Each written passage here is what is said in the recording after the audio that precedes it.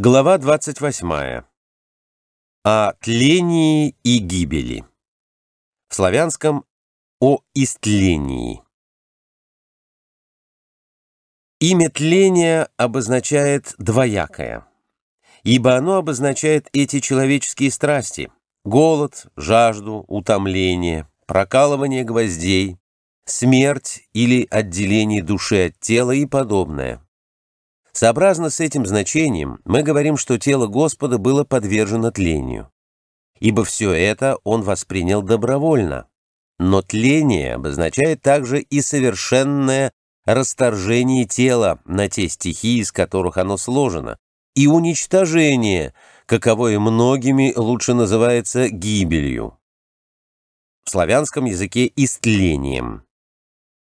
Тело Господа не узнало этого по опыту, как говорит пророк Давид, «Яко не оставиши душу мою во аде, ниже даси преподобному твоему видите истления».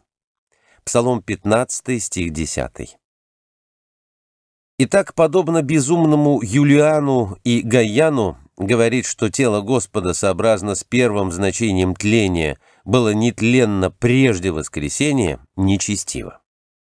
Ибо если оно было неистленно, то не было одной и той же сущности с нами, а также и призрачно. Но не поистине произошло то, что говорит Евангелие, случилось голод, жажда, гвозди, прободение ребра, смерть. Если же это случилось только призрачно, то и таинство домостроительства было ложью и обманом, и он, по видимости только, а не поистине сделался человеком, и призрачно, а не поистине мы спасены. Но нет.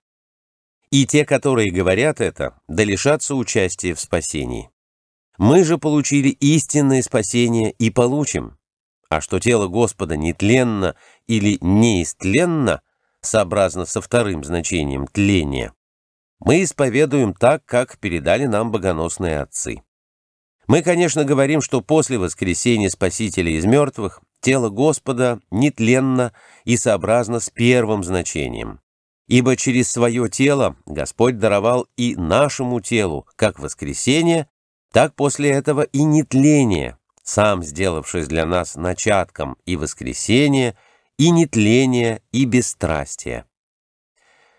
«Подобает бо тленному сему облещися в нетление, Первое послание к Коринфянам апостола Павла, глава 15, стих 53, говорит божественный апостол.